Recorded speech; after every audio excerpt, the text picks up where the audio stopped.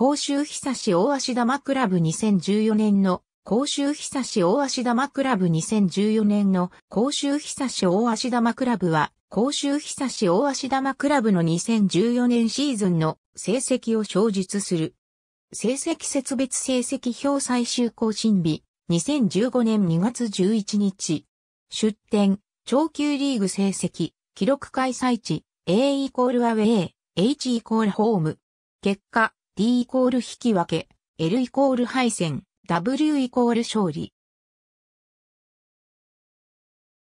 最終更新は2014年11月2日の試合終了時出展 http コロンスラッシュスラッシュ csl.cna.com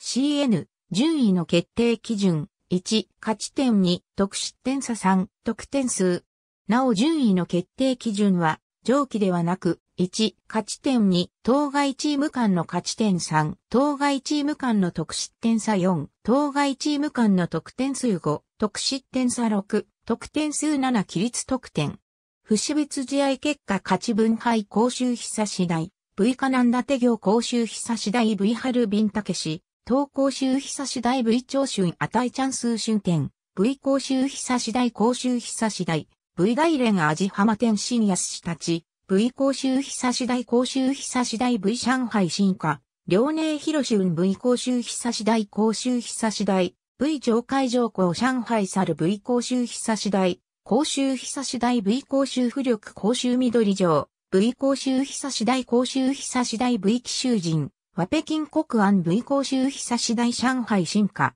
V 公衆久し大公衆久し大、V 三島路のカナンダテ行。V 公衆久し大、ハルビンタケシ東 V 公衆久し大長春、値 V 公衆久し大公衆久し大、V 高祖春天大レマジ浜 V 公衆久し大、公衆久し大 V 天津安したち、公衆久し大 V 遼寧広州上海上港、V 公衆久し大公衆久し大 V 上海猿、公衆浮力 V 公衆久し大公衆久し大、V 公衆緑城紀州人は V 公衆久し大、甲州久し大 V 北京国安三島路能、V 甲州久し大グループリーグ、甲州久し大 V メルボルンビクトリー、横浜 F マリノス V 甲州久し大甲州久し大、V 全北現代モータース全北現代、モータース V 甲州久し大、メルボルンビクトリー V 甲州久し大甲州久し大、V 横浜 F マリノスノックアウトステージラウンド16、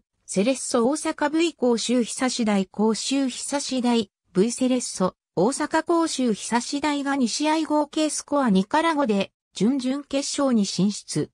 準々決勝ウェスタンシドニー V 甲州久し大甲州久し大 V ウェスタンシドニーウェスタンシドニーワンダラーズが2試合、計スコア2から2、アウェイゴール数1から0で準決勝に進出。ありがとうございます。